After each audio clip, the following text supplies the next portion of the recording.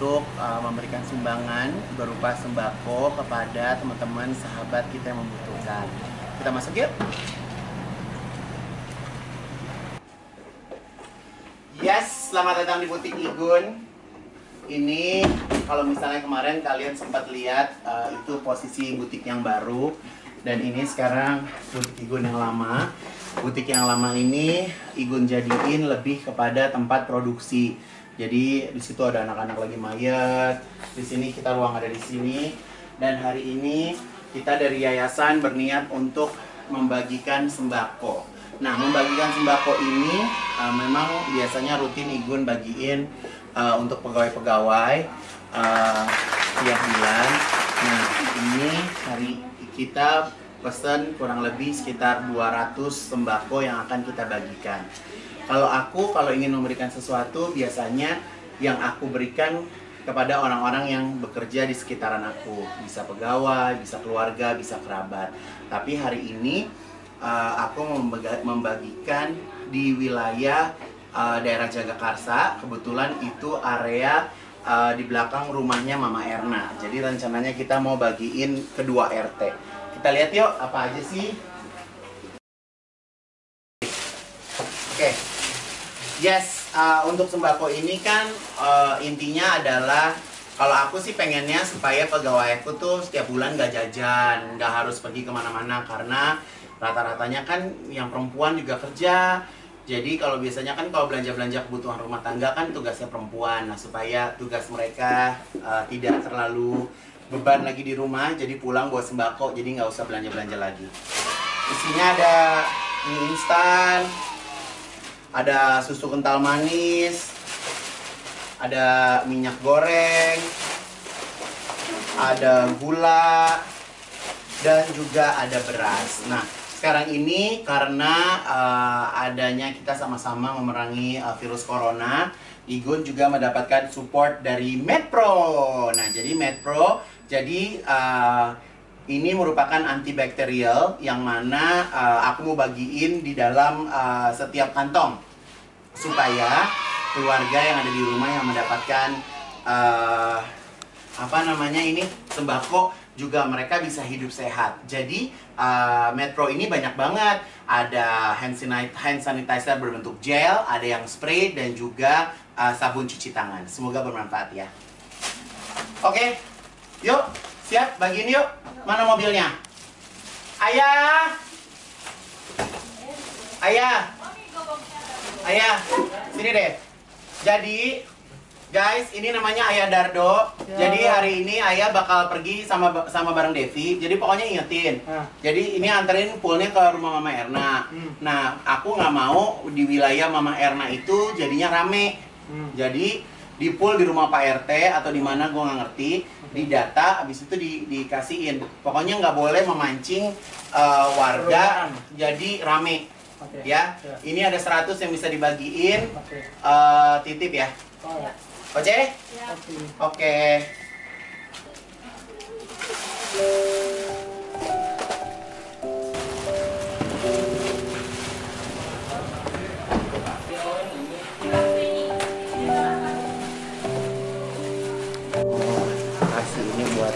Tukang cendol yang biasa mampir. Pak. Ya, Alhamdulillah.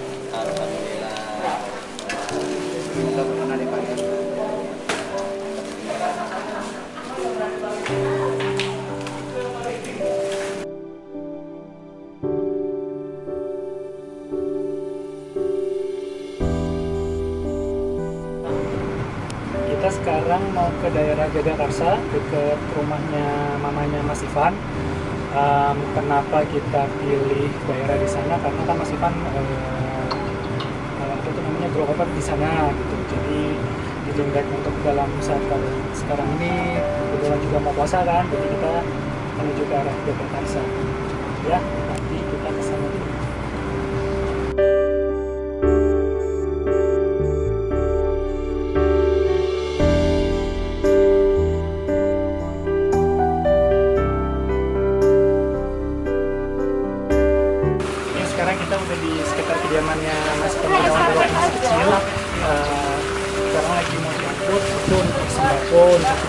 PRT di Kapten Polri. Jadi ini adalah amanah dari Masipan Gunawan untuk disampaikan ke warga di sekitarnya. Nah, Masipan Gunawan nggak bisa ikut ke lokasi karena dia ada kesibukan lain. Uh, sekarang lagi ngantar dari Mall Box, uh, di sini.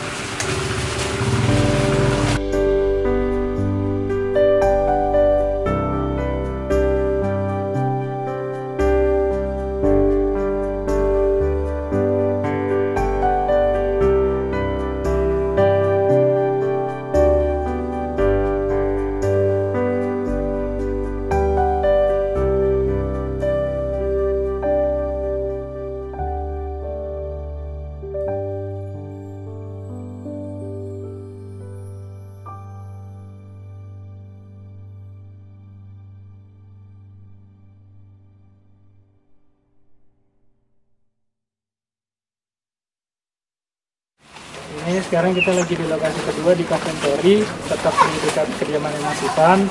Uh, sembako-nya lagi diturunin uh, untuk nanti kita mau menuju ke lokasi yang di sebelah dalam sana. Ya.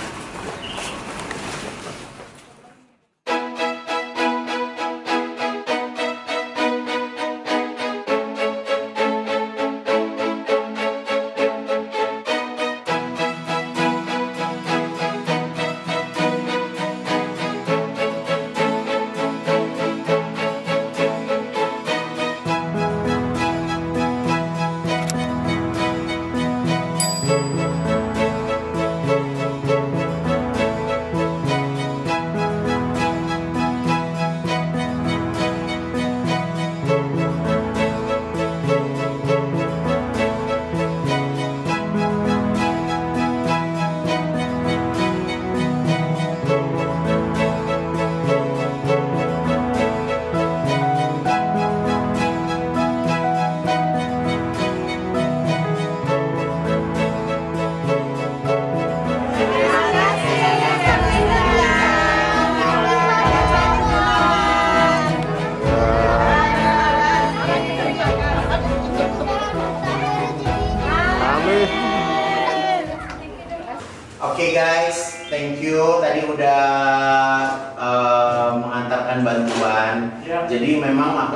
kalau di yayasan uh, kita memberikan bantuan itu uh, tepat pada sasarannya.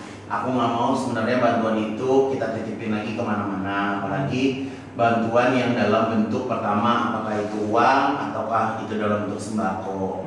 Gitu kan karena uh, pengalaman kemarin kita bikin uh, kita sampai hari ini ya kita sampai hari ini masih memproduksi masker dan kita alhamdulillah juga langsung mengirimkan ke alamat-alamat yang memang mereka perlu. Jadi kayak masker itu kemarin kita langsung kasih kayak ke instansi uh, ke rumah sakit puskesmas dan segala macam. Kita kemarin uh, masker manja udah berapa produksi?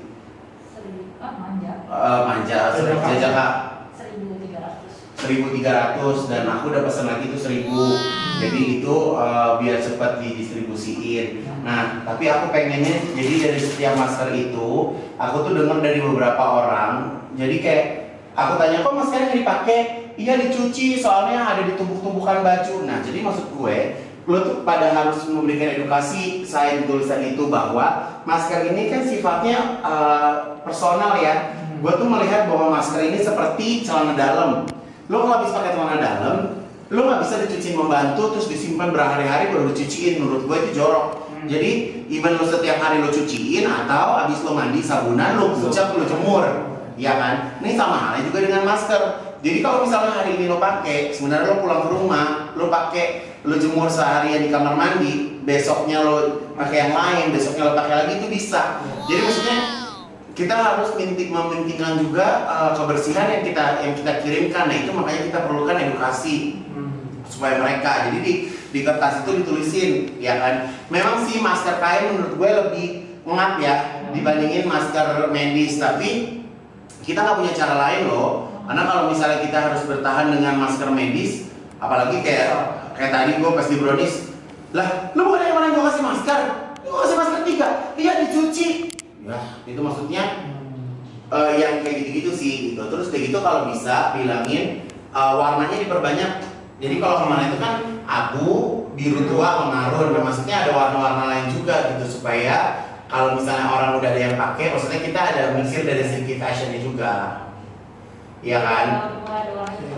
Iya, hitam, terus begitu eh, apa namanya kayak hijau army, Iya. Iya kan, terus eh, apalagi sih warna eh, mungkin bisa kayak coklat tua, Iya. ya kan, kayak gitu sih. Terus dia tetap harus ada talinya yang ke belakang itu buat yang hijab, Hmm. yang kuping juga. Kalau gue sih mungkin ya karena kuping gua kemarin bekas operasi ya, jadi kayak lama kelamaan itu kayak kayak perih, kayak perih gitu kayak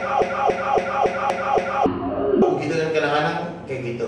Itu yang pertama. Nah terus sembako ini aku sih pengennya eh, target aku adalah eh, aku pengennya satu keluarga misalnya keluarga yang di PHK Hmm. atau mungkin memang yang keluarga eh, suaminya sudah nggak ada terus Hmm. anaknya yang cuma menghidupi ibunya jadi maksudnya aku tuh pengen lebih milih memang kita jadi lebih lebih repot ya Hmm. lebih repot untuk untuk untuk milih-milihnya tapi kalau kita bisa begitu tuh menurut gua lebih jalan karena itu yang gua mau Iya. jadi kalau menurut gue yang namanya kita beramal itu kan setiap orang punya caranya sendiri untuk beramal dan ini mungkin cara gue. Jadi gue nggak mau kayak maksudnya sembarangan lewat kasih. Aku nggak mau sih kayak gitu karena dan aku malah nggak pengen ngasih ke orang-orang yang udah sering ngasih. Kan pernah Hmm. ngasih kayak mukanya tuh kayak muka kok nggak ngirim lagi, kok nggak ngasih lagi, ngerti nggak sih? Iya, iya, iya. Pengennya tuh emang bener-bener dia dia cukup gitu. Jadi kayak misalnya kayak sekarang ini gue udah eh, dua tahun ini yang pengalaman ya, udah dua tahun. Alhamdulillah tuh aku menghidupi ada satu keluarga di Jawa Tengah. Hmm. Ini udah mau dua tahun. Nah menurut gue yang kayak gitu-gitu tuh dari yayasan kita bagus juga gitu. Maksudnya Hmm. eh, menghidupi itu dalam tanda kutip bukannya kita membuat keluarga itu untuk malas bekerja dan segala macam enggak. Tapi memang kondisinya memang di situ ada orang tua mau tuh anak kerja nggak pulang-pulang juga tetap aja gue rasa kagak bakal cukup juga nih. Tadi Toh masih tadi mama bilang gini, iya nanti nanti mobilnya ditaruh depan rumah, terus orang suruh datang suruh ngambil satu-satu. lah orang di mana kalau udah mau mau ngambil sembako ya udah nggak ada orang ngambil satu-satu, ya kan? Jadi tadi di koordinasi di luar RT sudah dilakukan eh, ada perwakilannya juga tadi. Jadi ya udah tadi langsung kasih ke Pak RT. Gitu. Ya. Ada beberapa warga. Ya, jadi makanya kalau di yayasan kita memang kita kan dari awal belum pernah membuka orang untuk menjadi donatur di kita gitu kan. Hmm. Tapi maksudnya kita berusaha untuk uh, dari apa yang kita punya dulu sih menurut aku Hmm. sampai kita udah kelar dari MS Glow, eh MS Glow kita kelar dari Miss Grand, uh, baru kita bikin gerakan yang nyata menurut aku. Hmm. Kita libatin Queen, uh, lima karakter Queen atau lima orang itu kan Hmm. punya uh, membawa cerita sendiri tentang Hmm. advokasinya. Nah jadi itu sebenarnya bisa kita support. Nah dari situ baru kalian bisa cari sponsor Ya. yang misalnya kayak Jazz dia Jasmine air bersih Iya. jadi kalau misalnya kita dapat sponsor Hmm. untuk bisa membuat air bersih dari mana ke mana gitu kan menurut aku juga bagus juga iya kan Ya kan sesuai dengan program kita ada Yayasan Dunia Media Bintang Berbagi kan. Iya. Hashtag toleransi tanpa Solidaritas Kalau tanpa solidaritas batas. tanpa batas. ya solidaritas tanpa batas kita nggak boleh ngebeda-bedain orang kita nggak boleh ngebeda-bedain agama apa segala macam Hmm. semuanya itu sama ya kan